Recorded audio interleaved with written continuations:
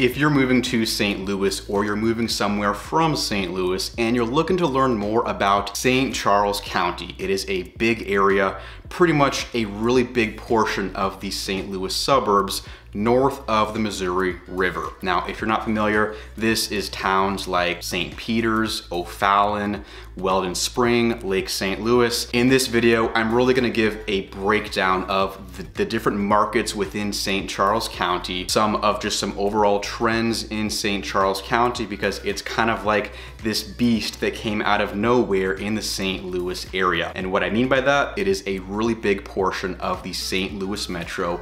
Lots of people out there, lots of stuff going on, and it's actually the fastest economically growing county in the state of Missouri. So lots of people moving there from other states and lots of people moving there from the St. Louis area or other parts of Missouri. So in this video, I'm really gonna give a breakdown of just the different areas in St. Charles County, different places you have when it comes to choosing where to live and figuring out which place suits you and your family if you're moving to St. Louis. So let's get into it. This is kind of gonna be a crash course video on the market, different suburbs within St. Charles County. It is a big area and it has grown very quickly. So honestly, I mean, I have people that I've worked with who are born and raised in St. Louis, but they live in the city or the county, and they're not super familiar with St. Charles County because it wasn't always a big deal.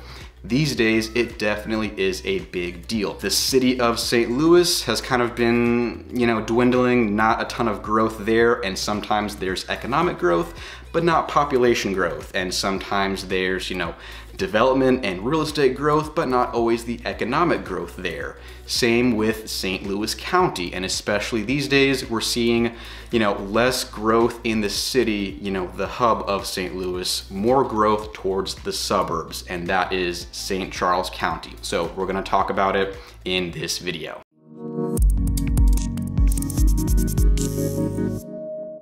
Hey there, welcome to the channel or welcome back to the Living St. Louis channel. My name is Jacob Peistrup and real quick, just gonna throw this in here. If you're moving to St. Louis, whether it's St. Charles County or somewhere else in the St. Louis area, if you want help with that process of buying a house, buying a condo, send over an email, send over a text message, get in touch with myself and my team. I mean, let me tell you, working with our clients through the YouTube channel is by far my favorite part of my job and sharing this city with everyone who is moving here and just, you know, explaining, you know, the different areas that I get to work with every day as part of my job and, you know, helping share the good, the bad, the ugly, and just what you want to know about living in these areas. Now, St. Charles County, you might not be familiar with it by the county name. You might be familiar with a part of it, like O'Fallon, St. Peters, Lake St. Louis, Weldon Spring, St. Charles, Defiance. These are kind of some of the big suburbs within St. Charles County, and I'm gonna break down the differences between them, the prices that you'll pay in each one of these, and just overall what you can expect if you're living there, and just from my experience working with people moving to this area, what they like, what they don't like, and just what they have to say about living in these areas. So really, St. Charles County is the suburbs. This is, you know, very Midwestern suburbs. That's what you'll see out here. It's urban in some places. There are a few kind of, you know, urbanized areas very suburban, like this is the suburbs, even the exurbs of St. Louis. You're outside the city, It'll take you anywhere from probably 30 minutes to an hour, hour and a half to get into the city, depending on how far out you go, how far west you go, because that's kind of, you know, the movement out west in St. Louis towards the suburbs. St. Charles County has a lot of that, and it's a big area. Lots of rural parts too, depending on where you go. You'll see the rural kind of woodsy feel, and you'll see the rural kind of farmlands and cornfields in some parts of St. Charles County. St. Charles. St. Charles is the name of the county, but it's also a really big city within St. Charles County. Now, St. Charles is kind of, you know, the oldest, most historic part of St. Charles County. It's also the closest to the city of St. Louis. So for people who have a commute for work, if you're going into St. Louis City, or Clayton, one of those, you know, centers where a lot of jobs are, then St. Charles is kind of the closest you'll be to that if you want to live in St. Charles County. St. Charles County as a whole is very suburban, lots of new development, new construction, brand new communities throughout St. Charles County, but St. Charles has a very historic center. So around historic St. Charles, Main Street, right along the Katy Trail, like this is very different from the rest of St. Charles County. It is historic, it is beautiful. You will see these hundred plus year old brick shops, stores, parlors, restaurants. It is a really cool place just to check out. If you don't live in St. Charles or you don't want to live around, you know, Main Street, definitely at least check it out for dinner or just walk around there for an afternoon. It is beautiful and it's really like a very unique place in all of St. Charles County. So that's kind of the historic part of St. Charles. The rest of St. Charles is pretty similar to other parts of the county. Very suburban, lots of new development, lots of new communities going on. You know, it's the Midwestern suburbs. That's kind of the best way I can describe it if you want to live in a, you know, big neighborhood, big subdivision, cul-de-sac around every corner. Like that is what you will find in a lot of parts of St. Charles County. Next up, Weldon Spring. Again, Weldon Spring is kind of the closest you can be to the city of St. Louis living in St. Charles County. St. Charles and Weldon Spring are kind of like the furthest east you can be in St. Charles County, which means closest to the city. So Weldon Spring, similar, but in some places more woodsy, more rural. You've also got the Whitmoor Country Club, which is a big community in Weldon Spring. This is also one of the more expensive parts of St. Charles County. So St. Charles County has a couple pockets that are kind of like these niche communities that are they're special, they're more expensive, they just operate a little bit differently. Whitmoor is one of those. It is a big country club, lots of subdivisions and communities that kind of stem off of it. So if you're into golf, if you enjoy that kind of community, Weldon Spring and specifically Whitmoor part of Weldon Spring will put you right in the middle of that golf lifestyle. Next up, St. Peters. Again, you know, really similar to St. Charles and Weldon Spring. Very suburban. This is just kind of further west. So you're further to get to St. Louis, further from the city if you live in St. Peters it's a really big area, especially like if you go further up north where it gets to kind of the unincorporated area. It's a big part of town. It's suburban in some parts, rural in some other parts. St. Peters also has some of these really big kind of industrial office parks. So lots of companies that are headquartered or at least have some office space in St. Peters. There is also a big Amazon center in St. Peters, so that's created a lot of jobs, lots of growth around the Amazon hub because, you know, wherever Amazon enters, you will see growth that follows that. But again, St. Peters, I mean, tons of new development, new growth. It's ranked a couple times as far as just being like one of the best towns to live in the state of Missouri. And those were just public rankings based off things like income, property values, education, public school districts, and just overall happiness and quality of life. So St. Peters, again, it is a great place to check out in St. Charles County. Right next door, you got O'Fallon. O'Fallon is gigantic. It is one of the biggest suburbs of St. Louis, if not the biggest. I know O'Fallon, I think Hazelwood and Florissant all kind of compete towards the top of, of, of being some of the biggest places in St. Louis, just population wise. O'Fallon, gorgeous, lots of beautiful communities. And I mean, you'll see, you know, some stuff on the older side,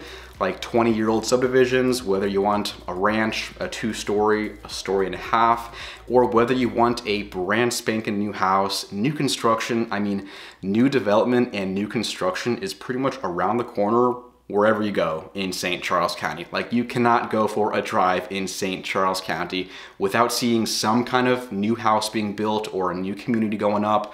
Plenty of builders to choose from. If that's something you're interested in, we do have more videos specifically on new construction. Hey, real quick, sorry to interrupt. In the last few weeks since I filmed that video, it has come to our attention there is a lack of information regarding a lot of these new development projects. We've received a lot of emails asking about building in these areas and it's pretty tough to find good information because the issue with new construction is that information from six months ago quickly becomes no longer relevant because things change so quickly and not enough info gets released on some of these projects. So we're gonna be coming out with a bunch more information, new videos, tours, all sorts of stuff for new construction on this channel. So there will be separate playlists. I'm talking Wild Horse Village, Inverness, Cottleville Trails, Streets of Caledonia. And the reason we're doing this is because we've received enough emails to notice there's a pattern going on. So my goal is to make this channel the go-to for new projects and new communities to keep you up to date with what's going on if you are interested in living in one of these areas. Builders pay for our fees, whether you use us or not, you pay the same price. If you want help, that's what we're here for. If you're not interested in new construction, then just disregard this part of the video and I'll get right back to it. There's a bunch of builders. There are some big ones you'll probably want to know about if you're moving to St. Charles County and some of them operate in specific markets or specific price points, but that's just kind of, you know, overall lots of new construction. Now, in my experience working with people moving to this area, sometimes if an area like O'Fallon or Weldon Spring or St. Charles is on their radar with possible suburbs, other places I've seen them look into in St. Louis County are gonna be Chesterfield, Ballwin, Ellisville, sometimes Kirkwood, sometimes Webster Groves, sometimes Wildwood if they prefer a more woodsy rural lifestyle. Those are kind of some similar suburbs. I mean, they're all different. St. Charles County is different from St. Louis County, but you know, people will often look in more than one of these areas. So if people look in O'Fallon, chances are they're looking in St. Peters and Weldon Spring, and very likely in Chesterfield and Wildwood. Just depends on budget. I mean, Chesterfield and Wildwood are similar. They're just more expensive than these places in St. Charles County. Dardenne Prairie, not as well known as O'Fallon or St. Peters, and that's just because it's it's kind of small. It's like a small municipality. It's very similar and it's mixed in with O'Fallon, Lake St. Louis, and St. Peters. I don't get as many questions about it just because not as many people know about it because it's kind of blended in with O'Fallon. So if people think of Dardenne Prairie, they're probably thinking, you know, similar lifestyle to O'Fallon or St. Peters. Again, these places are very similar. Cottleville, another one, it's just kind of a smaller area on the map. Not as many people know about it. It's right there in between Weldon Spring, St. Charles, and St. Peters. So if you're looking at Cottleville wondering, what is this? It's right in between Weldon Spring and St. Charles, so pretty similar. Cottleville's cool. It's got this really cute kind of town center, like these kind of not the main street, that's not what it's called, but it's got like these shops, coffee shop, post office, like it's a really cool kind of town center in Cottleville. And then around it, you have beautiful subdivisions. There's a brand new development, Cottleville Trails, huge development going up this year in Cottleville. So probably will get a lot of attention for Cottleville just because it's this giant development with a bunch of new houses going up. Cottleville is beautiful. Again, if you're interested in Weldon Spring or St. Charles, you're probably gonna like Cottleville as well. Now next up, continuing kind of on that western expansion is gonna be Lake St. Louis. Now, Lake St. Louis is kind of a different ballgame from O'Fallon and St. Peters, and that is because of the lake. So Lake St. Louis is kind of a different community. It was designed as kind of this resort-like retreat outside of St. Louis. So the lake, there's actually two lakes. There's Lake St. Louis and Lake St. Louise if you live in Lake St. Louis. I do have a video on that. The reason I bring that up is because if you live in Lake St. Louis, having lake rights is gonna be the biggest thing that people will compete for with real estate, with the homes you'll see.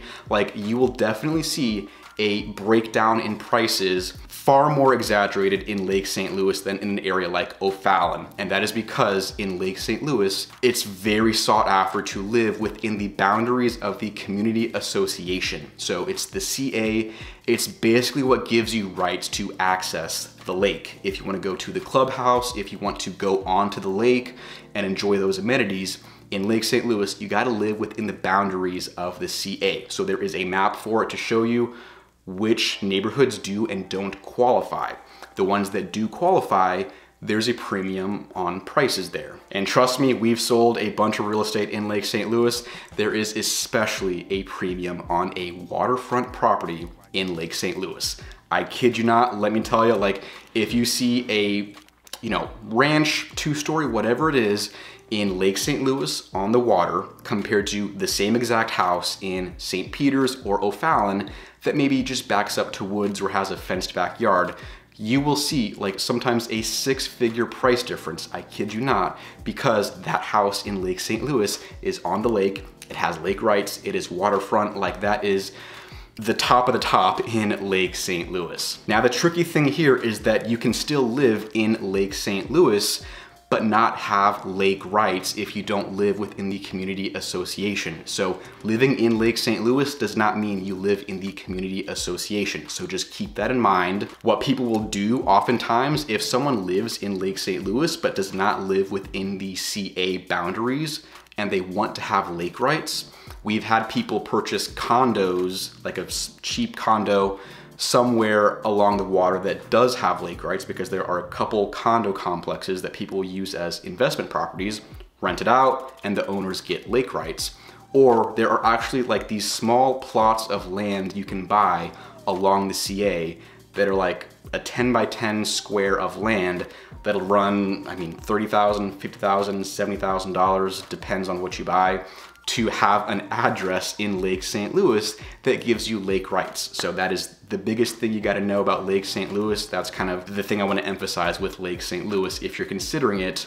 Lifestyle and everything very similar to O'Fallon and St. Peters, but the lake is what makes things different. So living on the lake is why people want to move to Lake St. Louis. I hate being long-winded, but that's that's the key point. The lake is what makes everything different in Lake St. Louis. And I mean, just as an example, there are a bunch of new developments and new communities in Lake St. Louis but almost none of them have lake rights. So you'll pay the same price in Lake St. Louis versus O'Fallon or St. Peters for these new development houses because you're buying in Lake St. Louis without buying the lake rights. So that's kind of the one thing you want to pay attention for if you're looking at Lake St. Louis specifically. And honestly, the thing that is really desirable about Lake St. Louis is that you can't really find an area like that close to St. Louis. Like there is nothing else that's that close.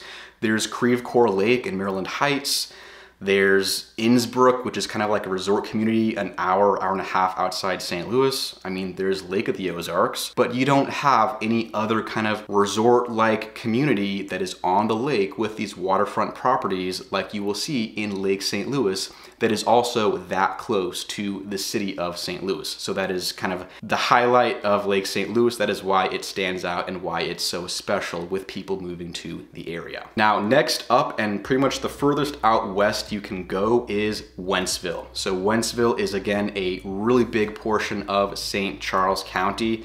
At this point, I mean, you're a good 45 minutes minimum outside of St. Louis. Depending on where you live, you could be an hour, hour 15 minutes outside of the city of St. Louis. Plus with traffic, whether you take I-70 or I-64 to get there, it might take you a while just to get into St. Louis if you choose to live in Wentzville. That being said, very suburban, tons of new stuff being built and sometimes at cheaper prices than you'll see for the suburbs closer to St. Louis. So, I mean, I've had a bunch of people, you know, looking at these brand new houses in Wentzville in, you know, maybe the mid 200s for some of these. Like if you wanna spend 250, 275 on a brand new house in Wentzville, you can't find that in O'Fallon or St. Peters. So if you're willing to sacrifice going outside the city more and more, but to get a newer built house for cheaper than you'll find close to the city, Wentzville is where it's at. So the ones I've mentioned so far are kind of the biggest suburbs within St. Charles County. The further out you go, there are some other towns you wanna know about. You just get more rural, more removed from the city, less suburban, and more woodsy, rural kind of farmland. So beyond Wentzville, you could look at Foristell, which again, similar. There's new construction, there's new stuff going on. It's just more rural. You're driving through the woods, through the farm fields to, to get anywhere out in Foristell. Flint Hill, same thing. It's kind of a smaller, lesser known area right next to Wentzville. Again, it's just kind of, you know, further removed from the city. St. Paul is another one. I oftentimes forget about it because I think of it as just kind of like an extension of O'Fallon. St. Paul though is like far up north, St. Paul is just more rural, more remote. This is more like farms, cornfields, you know, that's the kind of rural you'll see here, whereas place like Defiance or New Melle is more like woodsy rural. St. Paul is more like agricultural cow pastures, farms. That's what you'll see in, in um, St. Paul. Beautiful homes, a lot of these communities that are kind of private, they're kind of up there secluded in St. Paul. Beautiful area, but again, just not as widely known, and not as popular because it's kind of more sparsely populated. It's kind of spread out, kind of rural, but that's what you will find in St. Paul. Now, going back closer towards St. Louis, you could look into Defiance. So Defiance is right there next to Weldon Spring and St. Charles. Definitely, you know, a place you might want to look into if you still want to be close to St. Louis. Defiance though is very different from Weldon Spring and St. Charles. It is woodsy, it is rural, it's kind of like, you don't see these big developed suburbs in Defiance. You see these kind of more remote neighborhoods in the woods where the houses are acres and acres apart. You do not have these master plan communities where you're sitting on top of your neighbors. You will be spread out if you want, you know, a, a piece of land and a house backing up to the woods on a big piece of land all to yourself, that is easy to find in Defiance, where you're not really gonna see that as much in O'Fallon or St. Charles, where it's just more dense, it's more suburban. Defiance, you can find that absolutely. You will see, I mean, these big, beautiful custom homes being built with people who want, you know, a five acre piece of land, a big backyard, they want to back up to woods or have, you know, a, a, a, small pond on their property. You can stock it with fish, hunting, fishing, like you will see more of this just kind of rural living in Defiance. Same thing with Augusta and New Melle. So that's kind of, you know, you go further west past Defiance. Again, this is the more rural part of St. Charles County. You're further from the city, you're not gonna have, you know, a bunch of neighbors on top of you in these master plan subdivisions. It's more rural. You're driving the back roads to get there. You'll drive past the wineries, past the vineyards, especially in Defiance and Augusta a lot of um, wineries out in this area. I mean, if you wanna go wine tasting, have a party, have a get together, they will do weddings, all sorts of really fun stuff down there. Don't get me wrong, these places are beautiful. They are gorgeous and there are, I mean, some of the most exquisite houses in St. Charles County will be in Augusta or Defiance. It's just a different lifestyle if you're moving out there. So just think about that, you know, how suburban versus how rural do you want to get because there are places you can be very suburban and there are places you can be very rural like in the middle of nowhere if you live in St. Charles County. So just keep that in mind. If you're someone who enjoys being, you know, close to your neighbors and, you know, a five minute drive from the grocery store or Starbucks or Target, you're not gonna find that in Defiance or New Melle or Augusta. So there you have it, really just kind of your basic intro to St. Charles County you watch this whole video, you will have a pretty good grasp of different areas in St. Charles County, the real estate there, and just what you get for your money in these different areas. And again, like I said, if you're moving to the area and you're trying to figure out the right place for you in St. Louis and you're stressing about finding the right suburb, the right neighborhood for you and your family, I get it. I know it is a lot to manage and you wanna make the right choice, obviously. So if you want help with that process, like I said, send us an email, send us a text message. We are always here for that. My team and I love getting to work with new people moving to and from the area. So contact information right there below, that number, that email, that is how you reach me. So thank you for watching. I appreciate it. Again, if you have, you know, another area you want to, you know, learn more about or listen to, I do have a lot more specific suburb videos on this channel. So go check those out. Up to you, but thank you for watching. If you made it this far, I will see you in the next video right here on the Living St. Louis channel. So take care and I will see you next time.